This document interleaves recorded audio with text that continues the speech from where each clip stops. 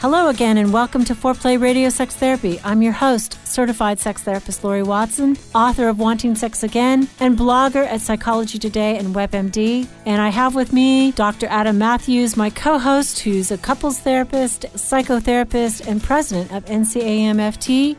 Foreplay is dedicated to helping couples keep it hot. Thanks for listening. Now, on to today's topic.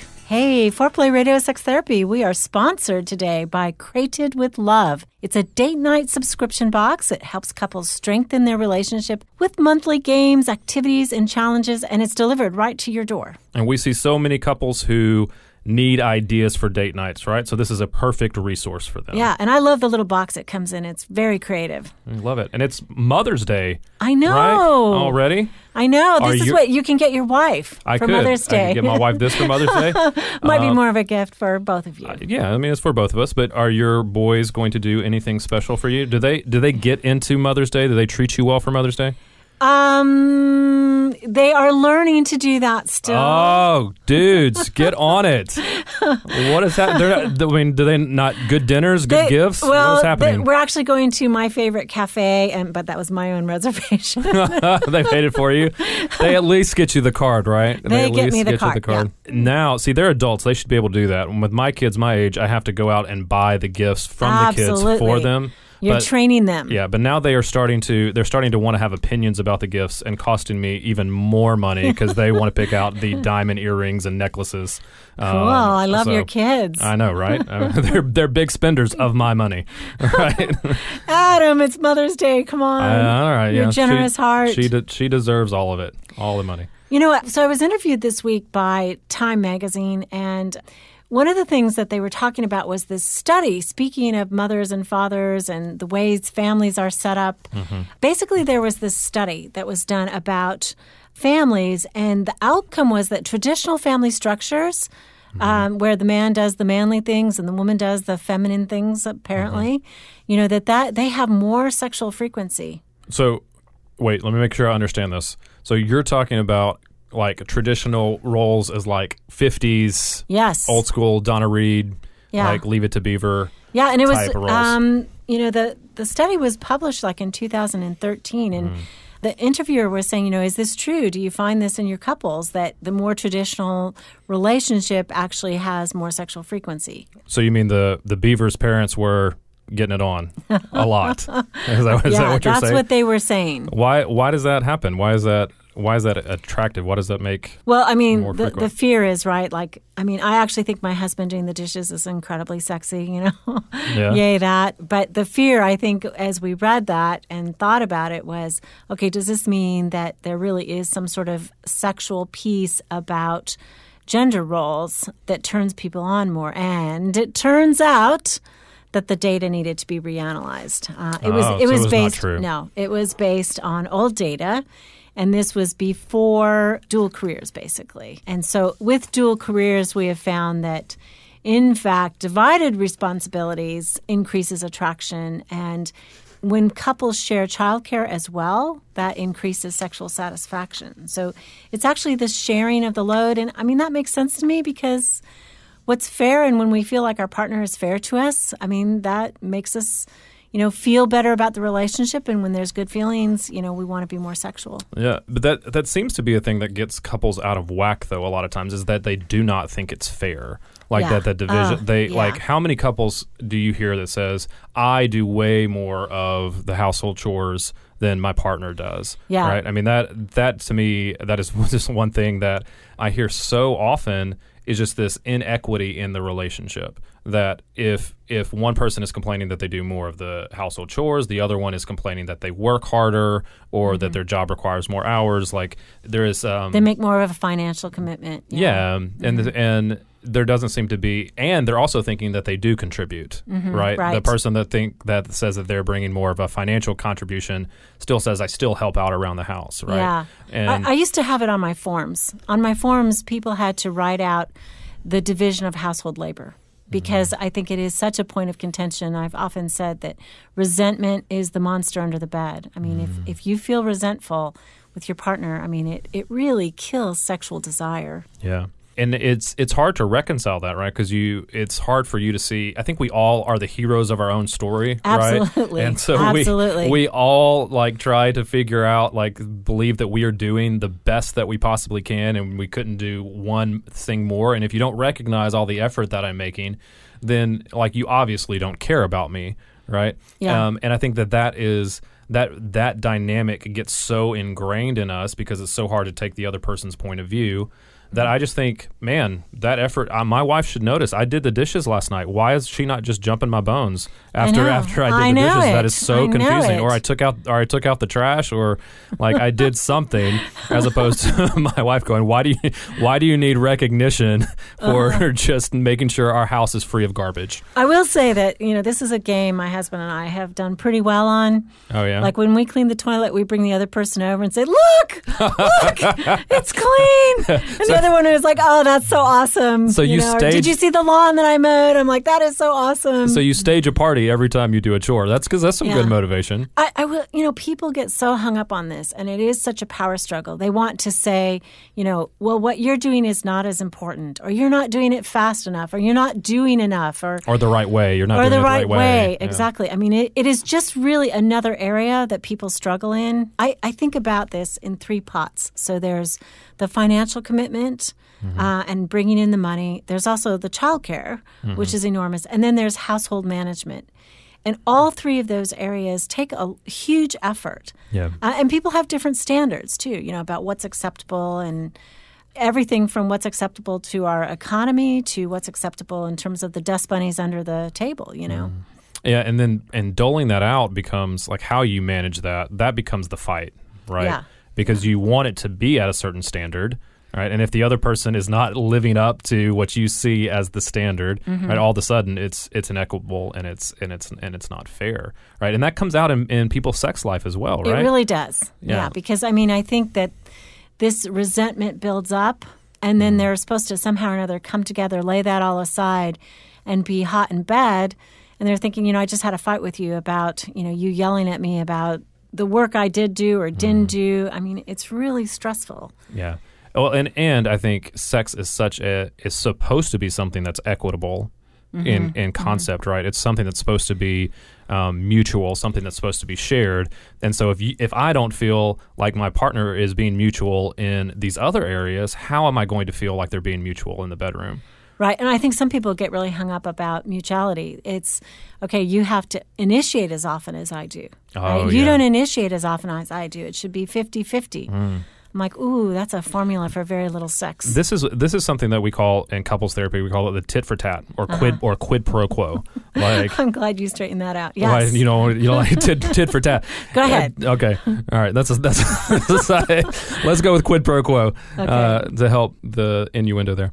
Um, but the quid pro quo just means it's it's we're keeping everything on a squa- right. uh, something scale. for something. yeah, I do something, you do something, and I'm keeping track of that. Also, you could think about it in terms of scorekeeping. Yeah. Right. We're keeping we're keeping track of how much I did versus how much you did, and if if I am winning, right, I've done more than you, but I can I'm But always somehow or another, winning means losing. Yeah, there's always yeah. You know, if I'm ahead, I'm actually behind. You know, I, I think that we have to do things out of our heart and we have to believe our partner is doing the very best they can. I mean, there are sometimes inequities I, Mm-hmm. Yeah. that have to be addressed. You know, I, I have certainly had patients who come home, stay home, do nothing, Yeah. and it has to be addressed. But overall, with good people, you know, they're both doing the best they can. They may have different energy levels. Yeah. They may feel differently about how much energy needs to go into which bucket. Yeah. Yeah. You know what I love about this whole conversation is if if people don't address this, right? If they continue in a scorecard who's winning, who's losing type Mm-hmm. of mentality, like they are go- this is going to escalate and they're going to end up in some major fights that have a really simple solution. Exactly. Right? And they, and they're going to feel like their marriage is falling apart. I have so many couples who's they they come in and they are questioning the the stability of their relationship and when we get right down to it, like this is what they're doing. Right? Yeah, they, it is they're arguing they're in a quid pro quo scorekeeping type of relationship over something that sometimes is as simple as the the chores in the household. Exactly. I mean, if they were living alone or when their partner travels, somehow or another, it all gets done. That's it. Yeah, The children get fed, you know, the laundry's done. But somehow or another, it's the race of, you know, okay, I did a little bit more than you did. Mm-hmm. And there's these creeping feelings of resentment. I mean, gosh, you know, being committed is hard. Oh, sure. There's there's a lot at stake, and you would think that there's two people, you know, plowing through all this work together, but instead it's like they're fighting each other and trying to figure it out. Mm. You know, who who's doing more? Yeah. So we got practical tips. Yeah, we got Right. some tips. All right, so we're we're To gonna come back. it? We're gonna come back after the break. We're gonna have we're gonna be solving things left and right, man. so, yes, it's gonna be Keep great. those buckets empty Keep or those- full. Yeah, that's right. We'll be back after a bit. Thank you so much to all our Patreon supporters. Right? Yeah. Patreon is a platform where you can directly support things that you love. We really want to expand the resources that we can be able to provide Right. to you as our listeners. If you know our work touches you and our work helps you, we would be so grateful for your support. Just go to our website, foreplayrst.com, and there you can find a way to support us and you can see our episodes and our blogs. And thank you so much, guys. Speaking with certified sex therapist Laurie Watson from Awakening Center for Couples and Intimacy. Laurie, what is an intensive? So, an intensive is 12 to 14 hours of therapy all in one weekend. And it's a way to really make fast progress compared to weekly therapy. I mean, there's just so much more you can get done when you have a chunk of time. Overcome the challenges in your relationship and your sex life. Learn more about intensives and Awakening Center's other services at awakenloveandsex.com. At Matthews Counseling, we believe it is our job to come alongside you in whatever difficult challenges of life you are in and help you rediscover hope and to find the strength that you have to face those challenges. We strive to create a safe and comfortable place for you to explore who you want to be and identify the obstacles standing in your way. Oftentimes, the first step toward finding help is the hardest, but it can also be the bravest. Give us a call at 919 587 8018. Find us online at We look forward to working with you. Hey, we're back with Foreplay Radio Sex Therapy, and you may have noticed we have some cool new tunes. Some new music, yes. Yes. The jam too. And we have a cool new producer named Lauren, who is Ah. really helping us. She's Listen, man, we're we're, we're official. We're polished. As George Jefferson said, we're moving on up, man. Yeah, we are, absolutely. All right. Okay, so we're back to some practical tips on how to keep this thing balanced. Yeah. What you got? What's your practical tip well, that you, you offer know, people? I think that the first thing is how do you decide on what's acceptable? Uh, because some couples say, you know, it's only acceptable if we each bring in the same amount of money, or it's only acceptable if we each spend the same amount of minutes in terms of our work. I, I know a young couple recently who I thought really did it well. Mm-hmm. Uh, she said to him, you know, so what do you hate doing?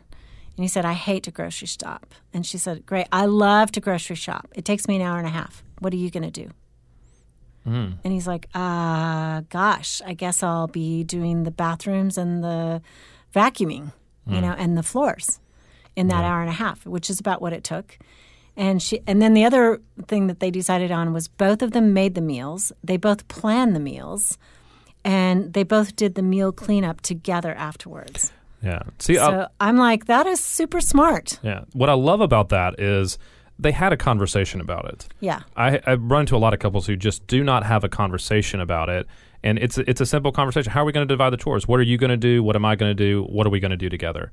Yeah. Right. And uh, I, I think those things become such a it, it's a it's a simple solution, but it can get you really big gains as far as this issue goes. Right, right. I also think, you know, sometimes there's a discussion about money. You know, what kind of lifestyle do we want? I think that's really important to decide early on. Or maybe, you know, maybe there's a job loss or something and they need to decide later. You know, okay, what are we going to do? What's important to us? Is time more important to us than money? How do we decide how we contribute? I think a, Um, I think a really helpful when it comes to money in the that division, like a really helpful conversation point is what's the amount that it's okay that I spend without consulting you. Oh, yeah, that's a good I think too. that's just that is just a basic one. What do we say is okay? Is it two hundred? Is it hundred dollars? Is it two hundred dollars? Is it more than that? Where I don't Mm-hmm. have I can spend it um, without having to talk to you about it, Mm-hmm. uh, because then that just clears up a, a whole bunch of stuff. And um, I think on the forward. flip side, Adam, is couples need to decide together how much they're going to save Because sometimes one person's a real saver and they put away a ton of money. And the other person is like, you know, I'd rather feather the nest a little bit more. See? I'd rather. I mean, that's the spend issue. The That's spend the spend issue. save. See, in my in my household, I'm the spender. I'm, You're I'm, the I'm the, spender? I am the impulse buyer, man. Oh, you're the coffee man. I'm the I, I spent. I did not How much money do you spend a month on coffee? Uh, I that's something. I mean, some things are really private, Laurie, and are things that should not be shared with the general public or my wife. Um, so let's just say I like Enough. it. I like Coffee I like is it. Adam's love language. I I've like decided. It. I like it a lot. yeah. Um, it is. It's totally my love language. I get but ya. I think when couples decide those things, it's just a conversation. But then you also have to stick to it. I have a lot of couples that this is becomes a, an issue as well. Over time, they stop doing what they said they were going to do. I know it. Um, and so they may have to revisit that conversation. But ultimately, if I say that I'm going to be in charge of cle- keeping the bathrooms clean, I have to keep the bathrooms clean, right? And I have to Ah, give yeah. my my partner permission to call me out on that if I'm failing to do that. So basically, we want to use the language of making a promise. First of all, having a request. Okay, what what do you want to do? Mm-hmm. Then the other person makes a promise. And then if the agreement is not kept, that's when the call out comes. I think Yeah. a lot of couples just assume these things and they're always mad at each other. And it's like, well, I never agreed to that. I don't really care if we vacuum every day or not. That's right. Because it has to be explicit. If it's Yeah. not explicit, if I'm just assuming that if I if I do the grocery shopping that you're going to do the bathrooms, Yeah. we're in for a world of hurt. Yeah, right? I, I think there's a problem when your partner becomes a little OCD. Like, I mean, I heard this one couple argue about it, and I finally broke it down. I'm like, well, okay, you, you talk a lot about washing the floor. How often do you wash the floor? And the woman said, every day. I'm like, oh my gosh. And she's like, well, you know, we've got toddlers and there's dog hair on the floor.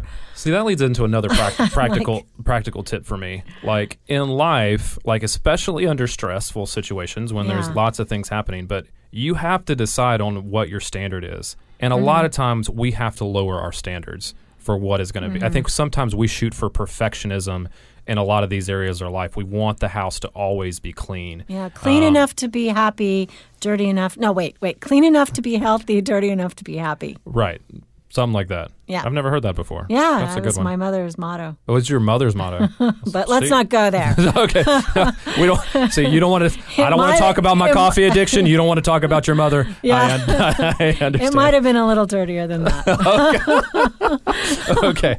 I'm Uh, into clean, I got you. Okay. but not so organized. But I think, I mean, I think that that's. I have people all the time that like that that want, have this standard, especially when they're raising small kids or when their jobs Yeah. are stressful or when they're going through really um, grief and loss, um, or Oh, I there's know. there's things that are happening like that, and they're trying to hold to these standards.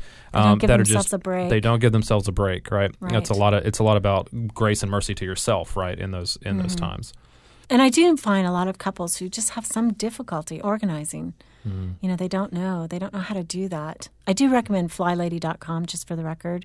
It's a great little option. She sends you a thousand emails, so put it into a different folder. But it is an organization tool that is free mm-hmm. and, and really helpful. Yeah. especially to those of us who are not quite as organized. Yeah, I mean, some people, unlike some people, just that doesn't bother them. Like not being organized, it does not bother them. But you have to be able to talk about that and decide what is your standard for the two of you going to be, not mm-hmm. just trying to follow one person or the other person's standard.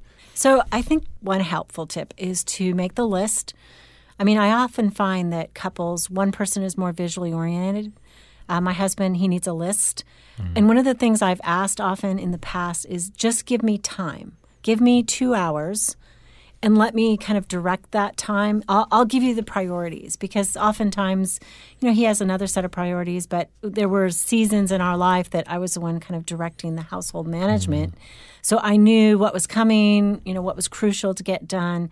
So just asking for a gift of time and say, okay, give me two hours on Saturday and then the rest of the day is yours or whatever. Sometimes that helps if you mm-hmm. can agree one person is more of the household manager. Yeah, I also like list. And I like knowing exactly what I'm doing. So my wife oftentimes will send me in an email all the things that uh, she'll send me the honeydew basically Yeah. in, a, in an email. Yeah, I like that. Um, and that just gives me some. I, I am visual, so I want to see what I'm supposed to do and know exactly what the expectation is. Um, I think some couples I hear, well, he or she should just automatically know what to do. And a lot of times that just doesn't, it's not, it doesn't helpful. It's not, it gets lost in the shuffle. Or some people set uh, reminders on their phone, set alarms on their phone, put it up on the fridge, anything like that that puts it in front of your face about what we're trying to do together and what's what's the win for us as far as household management goes. Yeah. So, Laurie, how does if we figure this out and we are more equitable in our chores, our household responsibilities,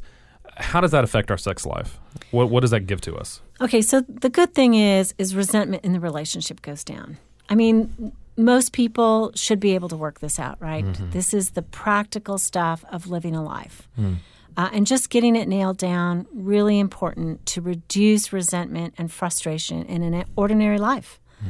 With that said, I think that, you know, resentment uh, being low, often there is another piece that we need to work out in terms of equity in the bedroom, especially around initiation.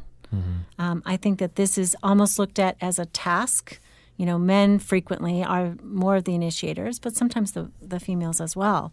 But if it's overbalanced one way or another, it's like, okay, my job is to start the sexual thing rolling. And what's lost is my sense of being desired. Hmm. And that can be problematic too. It's another way. So I think that hormonally, we really have to take into consideration that men have more testosterone. They're just prompted more internally to have sex. I, I think we share testosterone with initiation. I mean, I, I really think that I know it's not completely fair, but it's also not completely fair to live in a woman's body that takes so darn long to get going. You know, so think of it that way. There is equity. Um, But I think one way of sharing um, this can be both couples take responsibility for sort of, you know, last week you planned the date night and this week I'm going to plan it. That's sharing in terms of keeping the relationship going, the things that we need to put in together to keep us going and keep the relationship, you know, management going is important and can be more easily shared than maybe the sexual initiation. I also think you know we we got to have grace for each other. You know, in terms of maybe your partner is overtired and they can't you know mow the lawn that day, or they're overtired and it's really your turn to put the kids to bed, or they need you to do that, or something. I mean, I think we really have to accommodate each other. I, George Eliot says, right, you know, what do we live for except to make each other's life easier? And I like that. It's a spirit of generosity and of giving. And I think that that love comes through. You know, we, we respond to that sexually, right? Somebody Yeah, who wants do. to give to us. Yeah, I think that's great. Those solutions are often the simplest, but they're often the most overlooked as well. Yeah. Uh, and so, uh, doing that, I think you bring that back into your relationship. Yeah. So thanks for listening. This is Foreplay Radio Sex Therapy with your co hosts, sex therapist Laurie Watson and couples therapist Dr. Adam Matthews. Until next time. You can now call in your questions to the Foreplay question voicemail. Dial 833 My Foreplay. That's 833 the number 4 play. And we'll use the questions for our mailbag episodes. Hey, help us stay on top here at Foreplay. We'd love it if you would subscribe and share it with your friends. And please take one sec and rate and review us. Thanks so much. All content is for entertainment purposes only and should not be considered as a substitute for therapy by a licensed clinician or as medical advice from a doctor.